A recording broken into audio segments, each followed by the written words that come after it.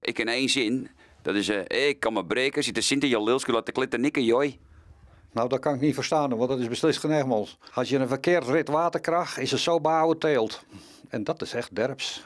Ja, daar verstond ik echt helemaal geen moe van. Wat, wat zei u nou? Als je een verkeerde rit water krijgt, is het zo behouden teelt. Dit is niet de vertaling, want ik begrijp het nog steeds niet. Oh, kijk, daar hebben we de koffie. Prachtig hoor. Wat is, wat is derps voor koffie? Nee, Een bakkie. Is dat, eh, oh Een ja. bakkie. Oh ja, wil je een bakkie? U gaat weer. Stel nou eh, dat we iemand willen uitschelden in het derps. Heeft u daar een paar goeie voor? Jo, Lozenbos, als je niet ophaalt, dan zal ik jou zijn windroog kloppen. Wat gaat u met me doen?